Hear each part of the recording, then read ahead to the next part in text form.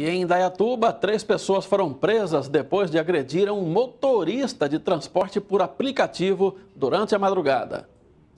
O caso aconteceu por volta das 3 horas da manhã. Dois homens e uma mulher pediram a corrida em uma lanchonete no bairro Cidade Nova. Depois de passar por um posto de combustíveis em direção ao Jardim Brasil, um dos homens deu uma gravata no motorista. Na rodovia Santos Dumont, o condutor passou a toda velocidade pelo posto da Polícia Rodoviária e só no pedágio ele conseguiu tirar a chave do contato e pedir ajuda. O trio foi levado pela Guarda Civil Municipal à delegacia. A suspeita é que os três queriam praticar um sequestro relâmpago. O condutor recebeu atendimento e passa bem.